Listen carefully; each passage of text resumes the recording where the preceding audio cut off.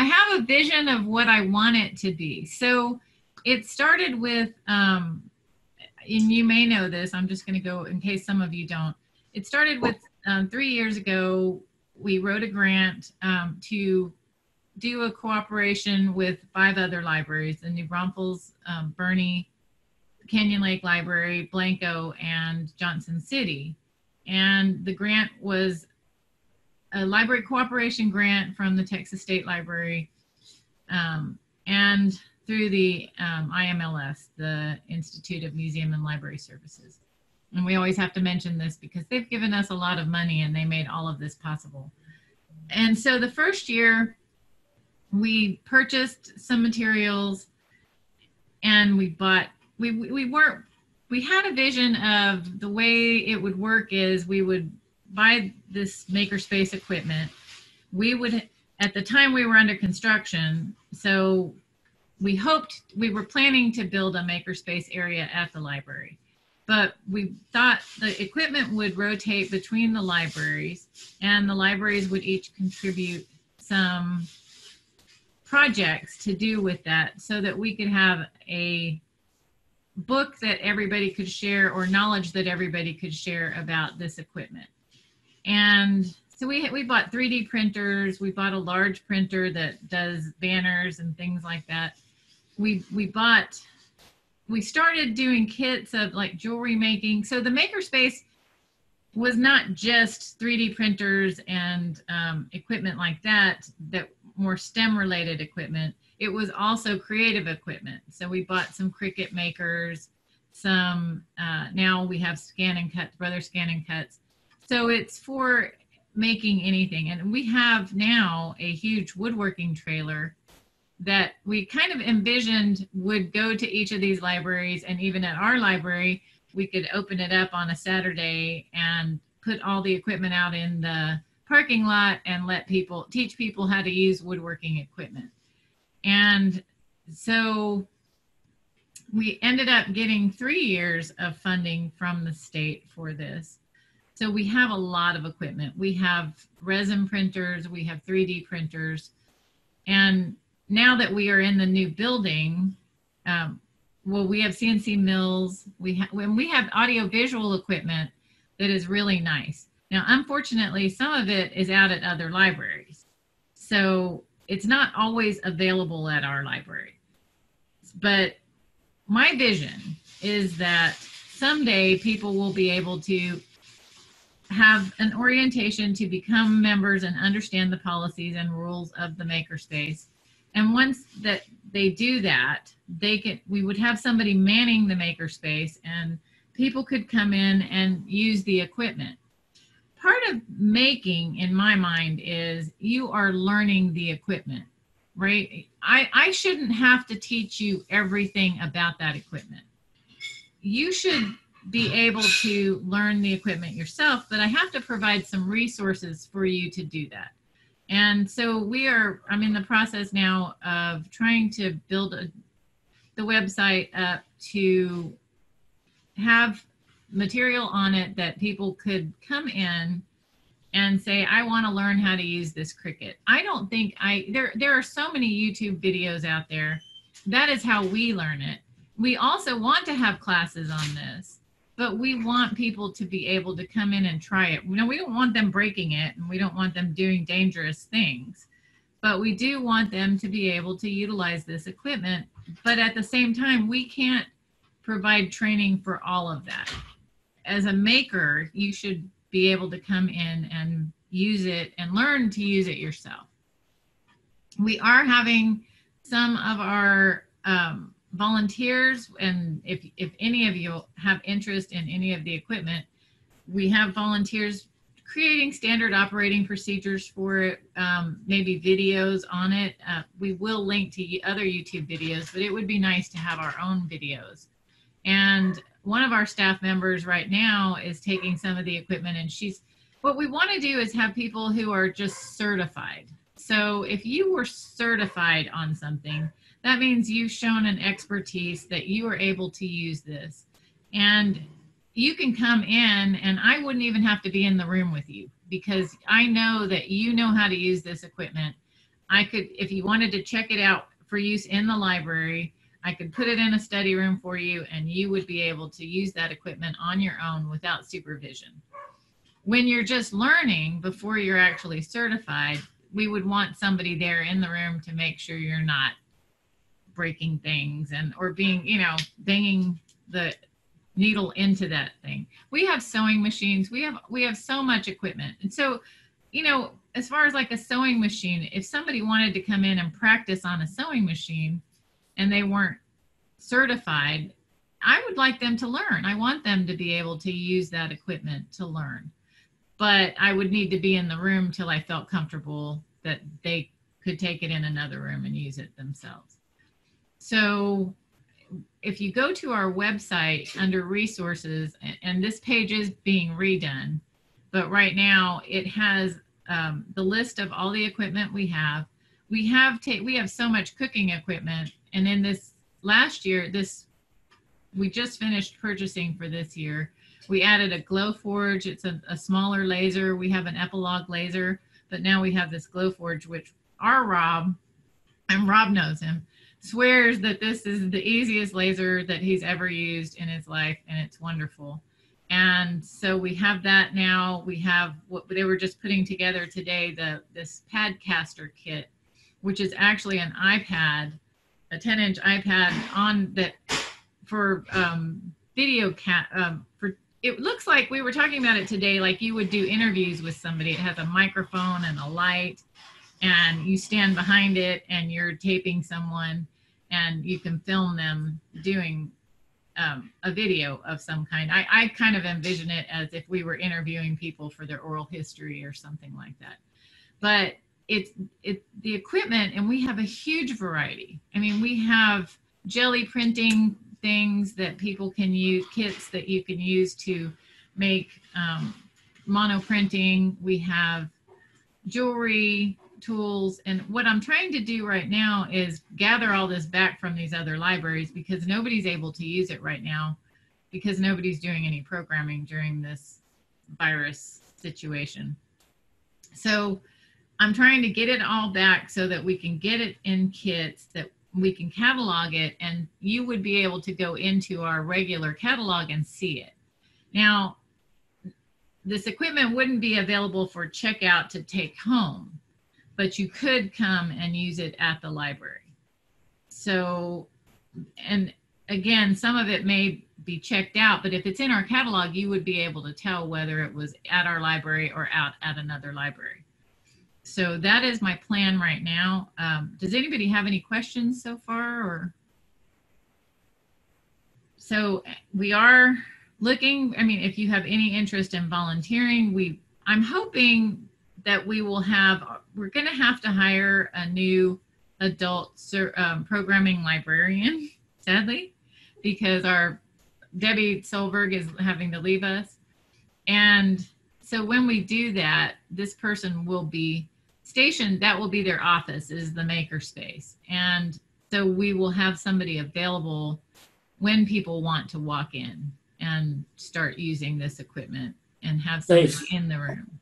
Susan, uh, I, uh, you and Karen, uh, Karen and I were were touring the um, library before it had been completed. You were generous enough to show us all the way around, and uh, we were looking at the makerspace. Uh, I'm Michael, and this is Karen back here, and uh, I uh, can't remember the fellow's name who was the physicist.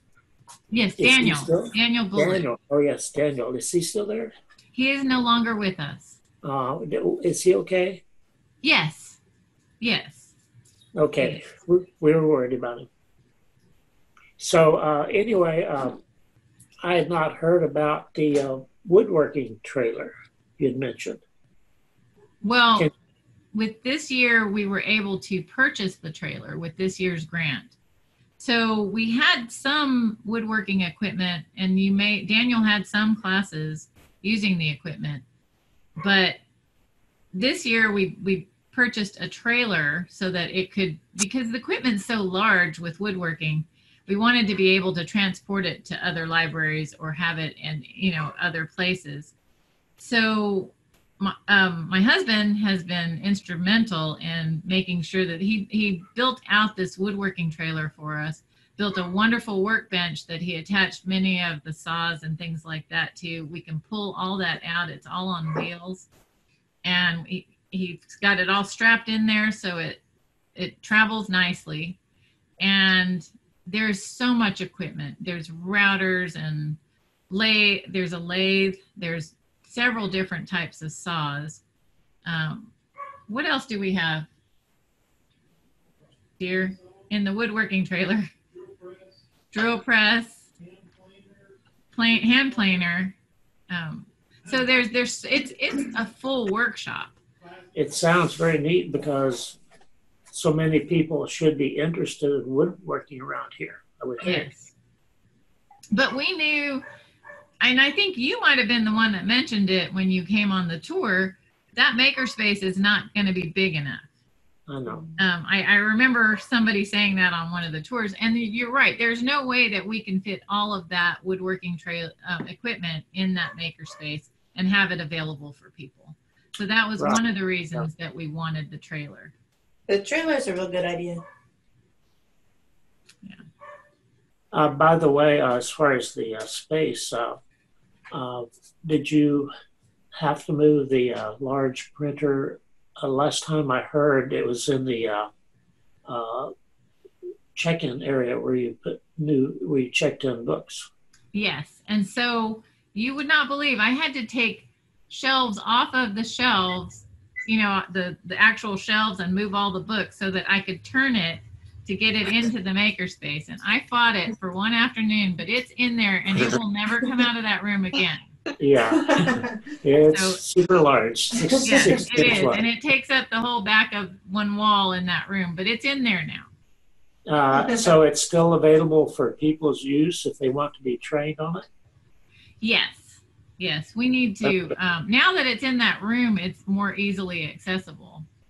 So yes, if you want to learn the large printer, and, and Katie is an expert at it, and um, Rob also knows it really well. Our Rob, and I think you know it, Rob. You've used it. Yeah, I, I was hoping to get some training. I mean, I the last printer I worked with on it was an HP 5100, but this thing's probably 20 years old. That printer does circles around because it cuts, it prints, it does a lot more. Yeah. Well, and we got a cutter. We got a cutter from US Cutter that I don't think anybody has ever even used yet. We haven't, we haven't, nobody's had the time to figure out how to work it. So we really need help with, we have a lot of stuff and we yeah. need people who want to try to use this and learn how to do it. So and eventually, if, if they did, if they wanted to teach a class on it, that would be fantastic. Now, uh, you say that Daniel's no longer with you, but uh, you're looking for a person to uh, uh be a supervisor because you you you sound like you are re- required to be there and you need to do other things. You're, are you still the uh, director of the library itself? I, yes, I am still the director. So, what we're looking well, we had Debbie. I don't know if you've heard of Debbie Solberg, our, our adult services librarian, is leaving us. And so we have decided to make this a full time position since we had Daniel was part time and Debbie was part time. So we're thinking we will get a librarian who has some STEM interest in programming and also the crafty side. We're not sure who this person is going to be, but uh, we're hoping to find somebody that will fit that and can have that as the, the makerspace as their office, like Daniel did once we opened. I don't know if you went in there after we opened. Uh, just a little bit. Yeah. Uh, it sounds like it's a very difficult position to know all of that equipment. Yes. but think well, of all the fun things they get to play with. I know. So anyway, uh, I should uh, stop talking and uh, you move on. Any other questions? Is there more I can tell you about it? Uh, this is Glenn Barrows. How are you doing? Great. Um, I have a, it's kind of an off the wall question. Um, from what I understand, the way you've explained things, um, you are sharing uh, a lot of equipment with five other locations. So it's kind of like split between six locations. I understand you're bringing it back to you right now during the current uh, lockdown crisis and all that, but eventually it's probably going to get spread back out again. So here's my off the wall question. How much funding would your library need for you to be able to have it all and let the rest of them split whatever's there? We, on this, the grant funding, we spent probably close to 250,000 on this equipment. I mean, the first year was 64,000, six, or 75,000. This year was 64 and the last year was 40. So maybe 150, 200. But um, we, we, we own, we are the owners of all this equipment. And, and the grant year ends the 30th of August. And the reason that I want to catalog it is we've been sending it out as labs. Um, so we've been sending out a lot of equipment to these other libraries. We don't envision sending the entire lab anymore. They're going to be able to check out, you know, if they want 10 jewelry kits, they can take that. They won't need everything in the entire lab that we were sending before. So we will still have most of the equipment. One of the issues that we had was everybody found the laser to be very popular. So when the laser was checked out to other libraries, and it was we were doing it by quarters, so it was gone for a quarter. So what we kind of envision now is they wouldn't have it for more than a month. You know, I, there wouldn't be a reason for them to have it longer than that, and we would go every month and deliver and pick up whatever it was. It, you know, if it was the really large equipment. So, Susan, may I ask a question? yes. Um, since Daniel's not there anymore and Hoover's taking his position, or, so is there, I was working on a project and it got postponed because of what we're going through. Now that I know Daniel's there. Who can I ask? It was a printing project. Who can I ask I mean, I've got the file and everything. Who do I need to ask to complete? I, I mean, I know we're now in shutdown, but in the future, when the opportunity comes up. Well, I don't see why we still can't print right now. I mean, Okay. we should be able to, and I believe we have a form. I need to see where that form's being Okay. sent, what email. Um, Right. Because Katie is still there, and Katie Okay. actually ran most of the prints anyway. Yeah, well, mine was actually not a printing, but a cutout. I was trying to make a big stencil. I, I was working on a project to make a stencil. And it, it works beautifully, but things got kind of changed, you know, world, world's so. Okay.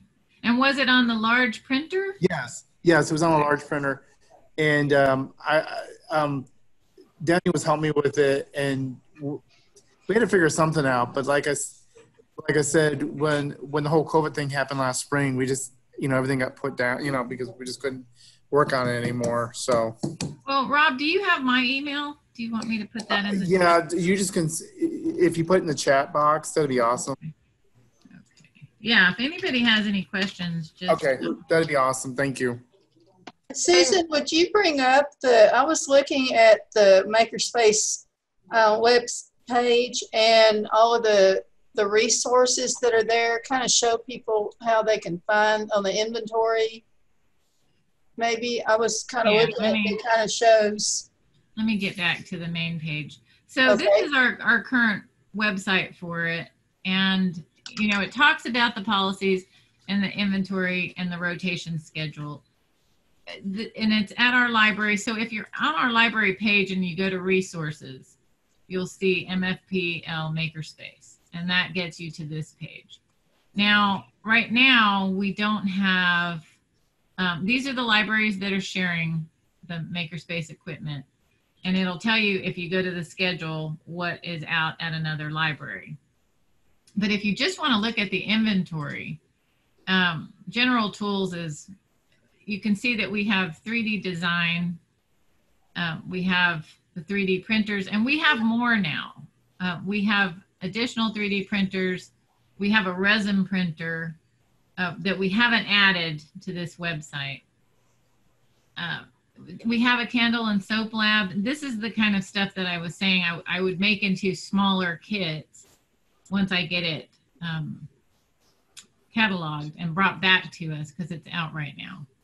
But for the digital AV, we had we have some interesting equipment. We even have a guitar. Um, we kind of envisioned at some point maybe we could have a sound box and people would be able to come in and utilize this equipment. Uh, we have this is the vinyl cutter. And that's what I was wondering, Rob, if that was something, if you're just cutting, would you use? the- Yeah, um, Daniel and I were working. So basically, it was going to be like 50 inches. Basically, we're just cutting it out. Partially had to do with design because, um, long story short, I got a grant from the school I'm working at, and I was trying to finish it, a project, and I was trying to make a, a, a stencil for the floor. Right. But um, yeah, that's what I was talking. Yeah, that's the printer. It's the one in that back room. I've seen it. Yeah, the cutter is back there too. Yeah. Yeah. So um, anyway, if you guys want to look through this, we have a lot of a lot of equipment, and some of it is out at other. We have a lot of STEM things for classrooms.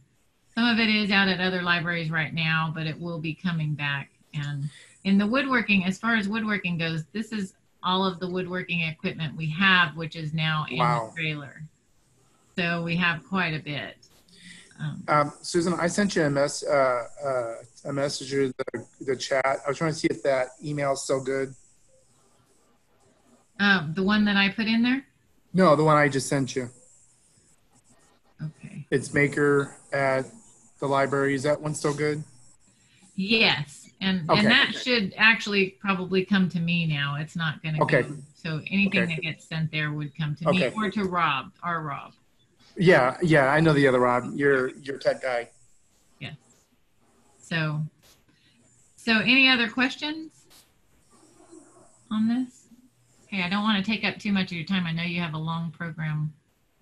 Um, And everyone, this is something else that's kind of going to be um, helpful for y'all. You'll get a survey after class is over um, later on, and if you wouldn't mind filling out in there, there's you know if you enjoyed it, if you learned something, all those normal things. But there's ideas for classes, and if y'all, with some of y'all's technical mindsets, have ideas for some of these things that we could um, do, or just anything at the library, we'd appreciate that there. There's also a spot for comments, so if you think of another question, um, you can definitely add that in there, and I can send it on to Susan. So This has been great, Susan, and no, you did great on the time, so we appreciate it. thank you so much for having me. We'd love to talk about the makerspace. Well, like Bethany said, we've talked about it at different meetings, but we didn't know much, and Rob knows more than we do, but um, because he's used it. Yeah. But yeah, we we were just kind of general talking, so this is we always say it's so fun and neat, and there's so much stuff in it, but how are we going to use it? And I think we're getting a lot closer to it with Susan cataloging all of that stuff. It's it's a project that's the least you can Yes, say, but it it's going to make it so easy for us to be able to use it and to check it out to their libraries and know where all of our stuff is. It's going to be awesome. So so you Thank you, Jess. visualize virus always to go have- away. You visualize always having to share it with the other libraries, even if you have it exclusive at at yours. we we would like to be able because this is equipment the whole point of the grant was the people not all libraries can afford to buy this. If you think about blanco and um, johnson city they won't be ever be able to afford this type of stuff. But we want to be able to have it available to them to teach their communities as well. So i i would like to continue to share as long as we can and as long as it's useful. I mean it over time these things will get older too right? Mhm. but oh we've got drones we've got all kinds of things. But um i i would like for all the communities and we're, all, we're only sharing it within 40 miles of us so it's not going everywhere. And so i i hope that we could continue this. Do you have or will you have a way of, if we wanted to reserve or use a piece of equipment that we can schedule a time? Say it's at Blanco, and so we know that it's not going to be back for a certain time, but we can go ahead and schedule, like going to the doctor or something. yes We can schedule. and and we had prior to daniel leaving we did have appointments with daniel that you could do that. So once we have our new librarian, hopefully by the time we open, it would be the same type of thing where you could schedule it. And, and we want to be able to have other staff members available. And if you were to become certified on it, again, you wouldn't need somebody there with you. We could just put it in a room and somebody else could just let you in that room to Mhm. use it. So, Well, I'm a crafter, so I, I see the Cricut. You know, everybody uses those if you're doing crafts and stuff, and that would be interesting. oh, you And would, other things. Yeah. And we got the little one now. We got the Cri- Cricut Joy. We've got the bigger one. We also have the scan and cut, the brother scan and cut. So we've got several. I think we'll always have at least one of those at our library. So, you know, that would be ideal. And to me, that's especially one of the ones where I would say you need to come in and learn how to use it yourself and play with it because that's how you're going to learn. Mhm. And there's not too much you can break on that. Um, Yeah. Knock on wood. But you know, I that's the kind of thing that I would like to say, yes, come in, sit down here, spend as much time as you want learning it. Mhm. And you know, somebody's just in the room with you. They're not telling you how to do it. They may not even know how to do it, but you're having the opportunity to learn it yourself. Yeah, I understand your cautiousness in just letting anyone come in and use them if they don't know what they're doing on it. Yeah, yeah. So, um, I kind understand. of like would you let somebody come in and just start playing with your sewing machine? of course generally- not. no. Not when they cost several thousand dollars. Right. right. Yeah. So, Or when it's the laser etcher engraver or something like that. that's right. I was gonna say not anymore. Yeah. So Now, all you still, you still have the scanner that'll scan books, but scan them flat? Yeah. Dan, you mentioned that one time because I was asking about it. If I have a book, yes. want to scan, you can do, okay, Yeah, we have the digital scanner. okay. It's just good to know Okay. what's Yeah. Super. So there's so much equipment. I mean, you really need to look through that website, and there's even more than is there on the website. So we need to update that. Okay. All right. Thank right. you. Thank you very much.